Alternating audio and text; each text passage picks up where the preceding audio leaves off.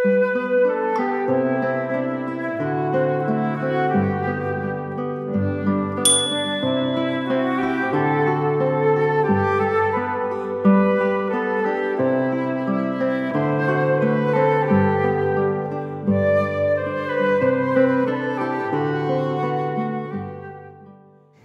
auditeurs de Radio Sainte-Marie, bonjour. Nous nous retrouvons, c'est le chanoine Jaminet qui vous parle. Nous recommençons notre catéchisme. Alors sous un nouveau format, hein, on a parlé un petit peu avec le père directeur de la radio, l'abbé Godefroy, et nous allons passer plutôt sur des formats d'un quart d'heure, peut-être un peu moins, plusieurs fois, soit d'affilée, soit sur la semaine, mais qui seront publiés sur YouTube par exemple en format d'un quart d'heure, parce que sinon ça fait trop long. C'est trop long à écouter. Donc on va essayer de diviser les choses en un quart d'heure. Alors on va voir un peu ce que ça va donner, hein, parce que peut-être qu'on n'arrivera pas à faire des leçons bien, bien comme il faut, mais on va s'y retrouver. Voilà, nous nous lançons dans ce, nouveau format et je vous invite à me suivre. Alors on avait, dans la dernière leçon, nous avions parlé du mystère de, euh, plus exactement, nous avions fait un peu un panorama de l'histoire c'est-à-dire l'histoire du peuple hébreu depuis Adam et Ève jusqu'à nos jours, à peu près, enfin jusqu'à l'incarnation de Jésus, euh, sachant qu'après l'histoire sainte s'arrête. Et on peut parler de, on peut dire qu'à partir du moment où Jésus est là, ce sont les temps dont nous faisons partie, le temps de la rédemption. Alors, mystère de l'incarnation, tout d'abord, il faut qu'on regarde Jésus, notre Seigneur Jésus-Christ, sa personne et ses deux natures. Alors, rappelons quelque chose, quelques éléments. En raison de son amour pour nous, Malgré nos péchés, Dieu a eu pitié de nous, a voulu nous donner la possibilité de nous racheter, de rétablir nos bonnes relations avec lui. Logiquement, c'est celui qui a fait l'offense qui doit réparer envers l'offensé. Ce sont donc les humains qui doivent réparer. Mais Dieu est parfait, Dieu est infini. Et donc bah, la réparation doit être parfaite et infinie. Sauf que nous, nous les êtres humains, nous sommes des êtres finis. Nous sommes des êtres incapables d'atteindre cette perfection divine. D'autant plus que nous sommes déchus par le péché. La réparation apparaît donc impossible. Mais par pur amour pour nous, afin que ce qui est juste puisse se réaliser, hein, le but du bon Dieu, vous voyez, il aurait pu nous pardonner. Très bien, sa miséricorde aurait, été satisfaite, mais sa justice. Lui, ce qu'il veut, c'est quand même nous pardonner, mais avec des vrais, euh, vous voyez, hein, que sa justice, que la justice soit rendue. C'est-à-dire qu'il soit donné à chacun selon ce qui lui est dû, etc. En plus, ça correspond à notre dignité de créature spirituelle, enfin avec une âme, une raison. Vous voyez, s'il nous avait juste pardonné, il n'aurait pas, il serait pas allé au bout du respect de notre dignité. Alors que là, en disant, bah écoute, je vais, ils vont payer la dette, mais du coup, bah, je, par conséquent, je vais pouvoir leur pardonner. Là, il y a vraiment quelque chose de possible, de réalisable. Euh, de, pardon, de juste. Alors, le bon Dieu, par amour pour nous, invente cette chose folle. Il faut donc qu'un Dieu paye la dette pour payer d'égal à égal que la justice soit satisfaite. Mais il faut que ce soit l'être humain qui a offensé qui paye cette dette. Une seule solution se fait jour, c'est qu'il y ait un être qui soit à la fois Dieu et homme. Et cette chose qui est si mystérieuse, qui dépasse totalement les forces de notre raison, eh bien le bon Dieu va le faire. Voilà, tout simplement. Pour nous, ça paraît incroyable, mais c'est pas contradictoire avec la puissance divine. Donc lui, il peut le faire, et il le fait. C'est donc ce que nous appelons le mystère de l'incarnation. Dieu s'est incarné en ajoutant à sa nature divine une nature humaine. Le résultat, c'est Jésus, le Messie Sauveur, notre Seigneur Jésus-Christ, qui peut ainsi agir en réparateur au nom et au profit de la nature humaine. Voilà, c'est là l'œuvre merveilleuse d'intelligence et d'amour de Dieu pour nous. Pour réaliser son plan, le bon Dieu a voulu préparer sa venue par le choix d'un peuple qu'il a formé religieusement et moralement. Ce peuple, ça a été le peuple hébreu dont les descendants sont les Israélites, qu'on appelle aussi les Juifs. En raison de sa mission également, on appelle ce peuple le peuple choisi, le peuple de Dieu. Son, rôle, c'est de préparer la venue du Messie Sauveur et ensuite de prêcher à tous les peuples de la terre la conversion à la seule vraie religion révélée par le seul vrai Dieu. Il faut nous arrêter ici un instant. C'est intéressant là tout ce qu'on vient de dire. L'être humain, tombé dans l'état de péché, si on le laisse à lui-même, eh bien, il va aller de déchéance en déchéance. On voit les Hébreux, tout autour d'eux, tous les peuples sont païens. Et ils vont euh, s'adapter en fait régulièrement au paganisme. Régulièrement, ils reviennent au culte des idoles. Ils vont demander à Dieu un roi. Alors qu'en fait, leur roi, jusque-là, c'était Dieu. Ils obéissaient, ils avaient euh, la loi, les commandements. Bon, bah, ils n'avaient pas besoin d'un roi. Ils demandent un, roi à Dieu pour faire comme les autres. Voilà. Et le bon Dieu, lui, en fait, ce qu'il a voulu faire, c'est protéger un peuple qui soit le sien pour pouvoir, euh, pour que quelqu'un soit prêt à recevoir le message de l'évangile. Voyez, la loi du talion, œil pour œil, dent pour dent. En fait, c'est déjà un progrès à l'époque. À l'époque, si ton voisin te tue, euh, non, pardon, justement, te tue pas, si ton voisin te coupe un doigt, là, tu venais, tu te vengeais, tu tuais carrément ton voisin. Donc quand le bon Dieu dit non, seulement, tu prends seulement son œil s'il a pris ton œil, seulement une dent s'il t'a pris une dent. C'était déjà un progrès, c'est dire non, tu ne vas pas au-delà de la punition qu'il a méritée. Donc ça, c'est important. Le bon Dieu, ce qu'il a voulu, c'est par une lente pédagogie, on voit dans l'Ancien Testament, hein, tout au long de, de l'Ancien Testament, il forme son peuple, au début par beaucoup de menaces, et puis petit à petit en lui révélant que, oui, il menace, mais enfin, concrètement, il est d'abord un Dieu fou d'amour pour sa créature. Voyez Et ça, ça prend du temps. Ça se fait pas en deux minutes. D'autant que nous, quand on chute, ben, on va très vite, très loin dans le péché.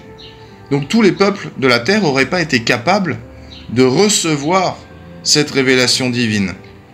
C'est pour ça qu'il va falloir que le bon Dieu soit très patient et prépare un seul et unique peuple dans lequel déjà le mystère de l'incarnation, toute la loi d'amour à laquelle le bon Dieu nous invite, même dans ce peuple, déjà ça va faire un scandale. Vous imaginez la difficulté pour le bon Dieu de faire en sorte que nous, nous le suivions pas à pas, nous adhérions à sa doctrine, à son enseignement, voilà, donc tout ça pour dire qu'il a bien fallu que le bon Dieu choisisse un peuple et que malgré tout, malgré toute la pédagogie, tout le temps, toute la patience a eu, dont il a fait preuve envers ce peuple, bah, quand il est arrivé, euh, il n'était pas totalement prêt à le recevoir. Et le but, c'était de faire en sorte qu'il y ait un terreau fertile, comme préparer la terre pour faire la plantation. Il y avait un terreau fertile pour que le grain de la foi puisse porter du fruit. Si le bon Dieu était arrivé comme ça, imaginons dans l'une ou l'autre de nos nations païennes. Vous voyez, moi je suis français, je m'adresse à des Gabonais. Ici, aucun d'entre nous n'est descendant du peuple choisi, du peuple élu.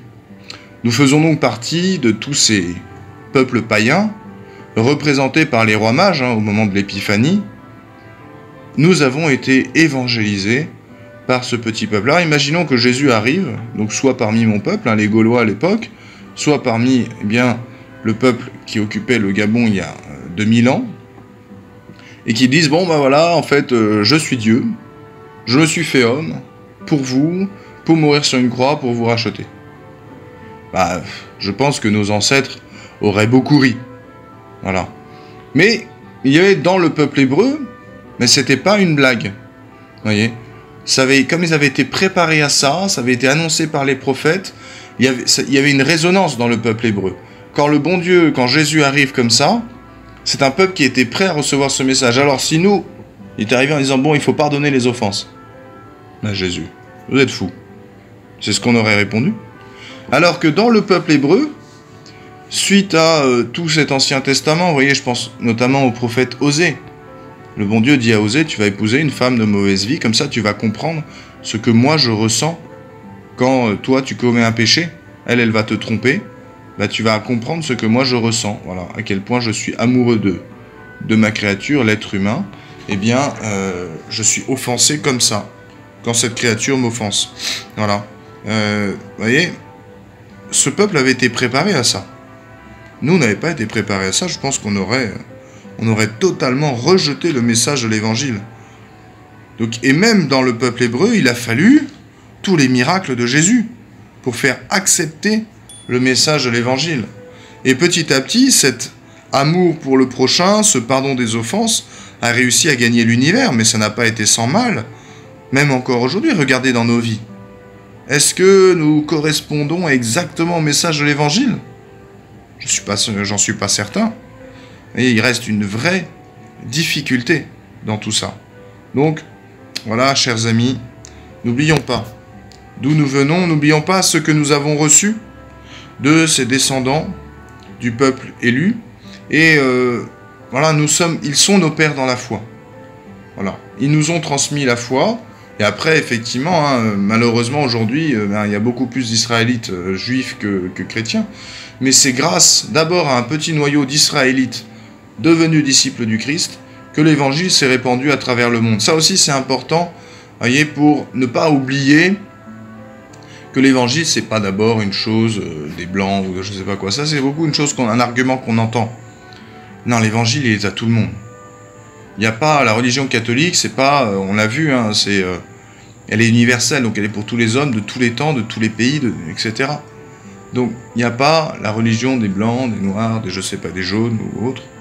Voilà. Peut-être qu'on peut avoir chacun le génie architectural propre de chaque pays. Et voyez, là encore aussi, c'est l'Église qui a façonné la culture de tous ces peuples. Prenez le peuple romain, il y avait encore beaucoup de choses très païennes qui ont dû être christianisées. Alors le peuple gaulois, n'en parlons pas, mais dans tous les peuples de la terre, l'Église a aussi modifié la culture et c'est pas une mauvaise chose. C'est pas une mauvaise chose. Vous voyez, on a trop tendance à voir les choses sous le prisme de la colonisation. Mais l'Église, elle ne nous a pas fait une colonisation. L'Église nous a apporté Jésus. Et parce qu'elle nous apporte Jésus, elle nous apporte aussi tout ce qui va avec, tous les éléments aussi culturels de l'Ancien Testament, tous ces éléments transmis par... Je pense aux psaumes. Les psaumes, parfois, qui se répètent, qui, la, la formulation aussi, elle est typiquement hébraïque, mais pourtant c'est une bonne chose, parce que c'est la langue que Dieu a voulu utiliser d'abord pour parler à l'être humain, et donc, pas ça c'est relativement universel, vous voyez. Donc, on peut s'enrichir comme ça de différentes choses. Il ne faut pas rejeter. J'entends trop parfois le rejet des choses en disant non, une chose des blancs, une chose des jaunes, une chose des... Non, non, non, non. La seule religion révélée par le seul vrai Dieu, c'est elle aussi qui façonne petit à petit les cultures. Qui fait aussi qu'il y a non seulement, on avait déjà des choses en commun, nous étions tous descendants d'Adam et Ève, tous enfants du même Dieu, enfants du même Père, si vous voulez. Par la religion, nous devenons en plus frères de Jésus, frères et sœurs du Christ. Donc véritablement enfants de Dieu, enfants de l'Église, il y a un lien encore plus fort. Mais on partage aussi tout un dépôt culturel, toutes des prières, etc. Le Je vous salue Marie, qui peut être chanté dans plein de langues différentes, etc. Le Notre Père, qui est notre prière véritablement commune. On dit tous Notre Père, qu'on soit jaune, blanc, rouge, tout ce que vous voulez. Donc ça, c'est important aussi, il me semble, de ne pas oublier cette exception du peuple hébreu, du peuple choisi, du peuple élu, nous rappelle à tous aussi en fait notre fraternité profonde. Nous remet tous aussi à notre humilité de peuple non choisi. Nous ne sommes pas, à part eh bien s'il y a parmi les auditeurs des, descendants du peuple juif, nous ne sommes pas le peuple choisi. Voilà, nous ne sommes pas le peuple élu par Dieu pour, euh, obtenir, pour garder sa promesse à Adam et Ève et avoir parmi lui eh bien, la venue du Sauveur. Voilà. Nous sommes des peuples qui vont être évangélisés, dans lesquels va être annoncé le fait que le Fils de Dieu est effectivement venu sur terre pour nous sauver. Ça, c'est vraiment important. Nous, sommes, nous avons aussi cette, euh, je dirais, ce dépôt en commun d'être des peuples païens convertis au Christ. Voilà, des peuples qui ont eu beaucoup à apprendre de ce peuple hébreu.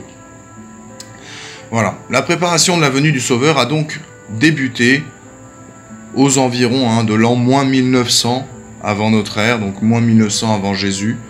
Euh, voilà, moins, oui, c'est ça. Toute l'histoire de cette période préparatoire, c'est ce qu'on a appelé l'histoire sainte, qu'on avait divisé en quatre grandes parties et que nous avons détaillé au chapitre précédent.